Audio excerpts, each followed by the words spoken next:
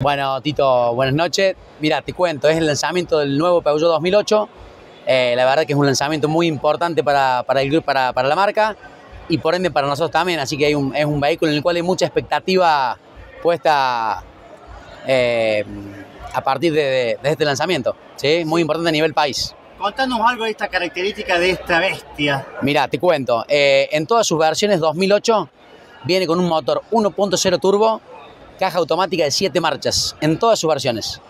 Eh, es un vehículo que viene muy completo en cuanto a seguridad y obviamente lo que distingue a Peugeot es cuestiones estéticas y de diseño en la calidad de material que no, no es fácil de encontrar en esta relación de, de precio-producto.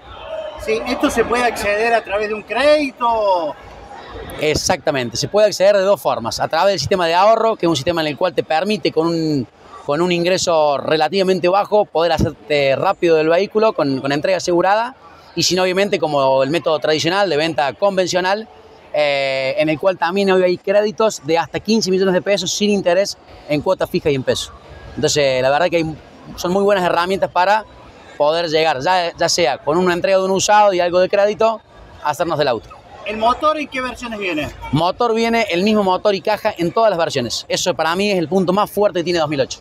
El cliente puede ir subiendo en gama y va a subir en cuestiones de, seguridad, perdón, de, estética o lo que tiene que ver con, la, con cierto equipamiento, pero motor y caja lo va a tener en todas sus versiones con las mismas características.